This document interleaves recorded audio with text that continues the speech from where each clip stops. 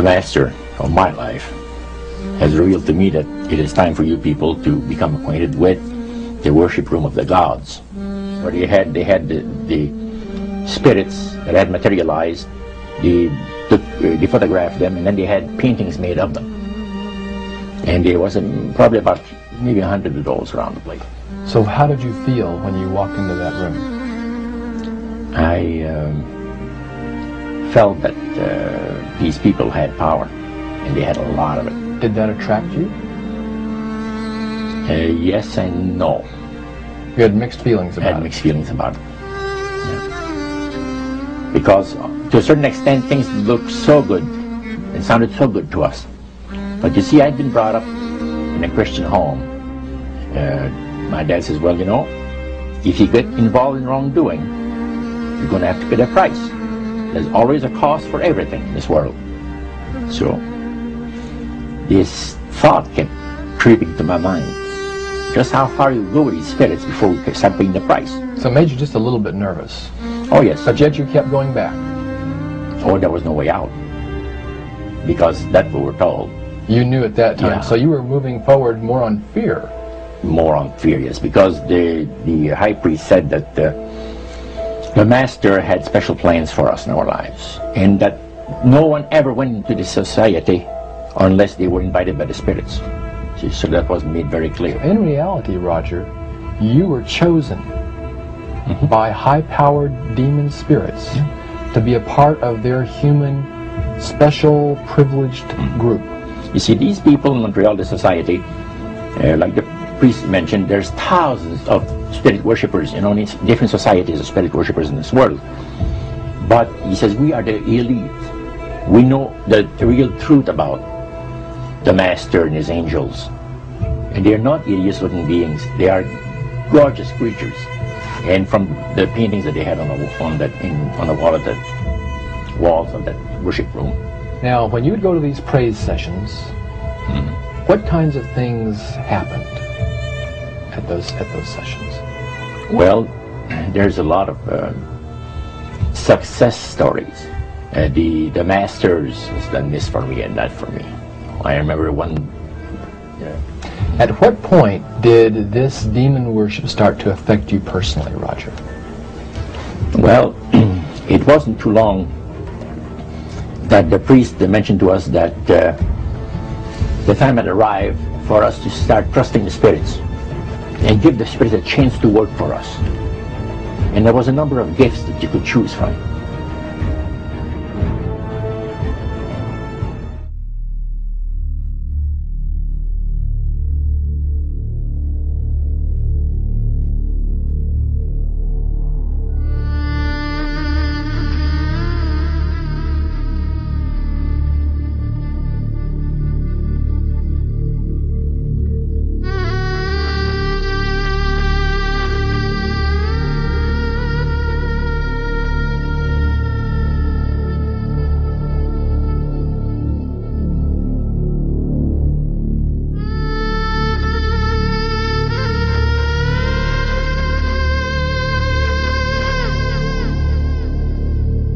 ناس بس آه، في بيروت وفي لبنان.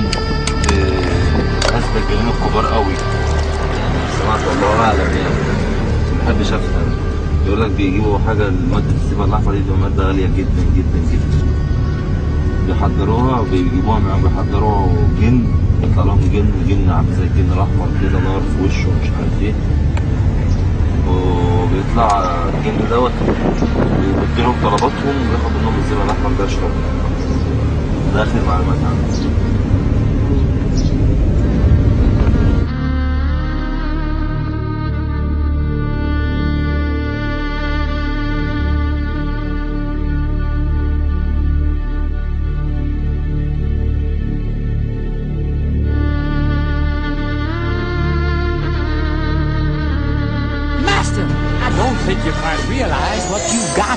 So why don't you just ruminate whilst I illuminate the possibility? Whilst I illuminate the possibility, illuminate the possibility.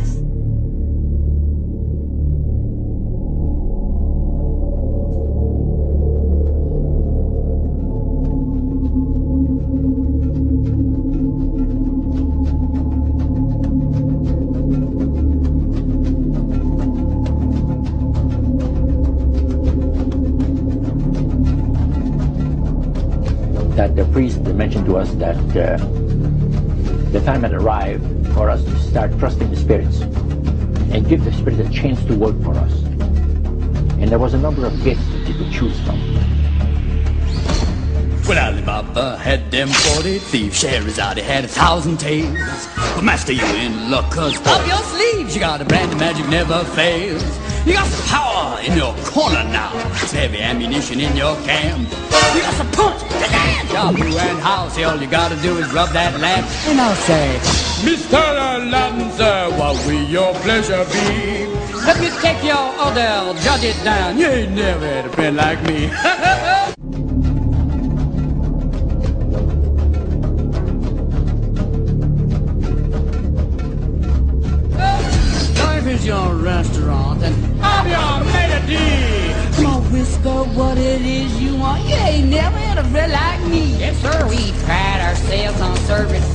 the boss, the king, the shah. Say what you wish, it's yours, true dish. About a little more baklava. As some are calling me, try all of calling me. I'm in the mood to help you, dude. You ain't never had a friend like me.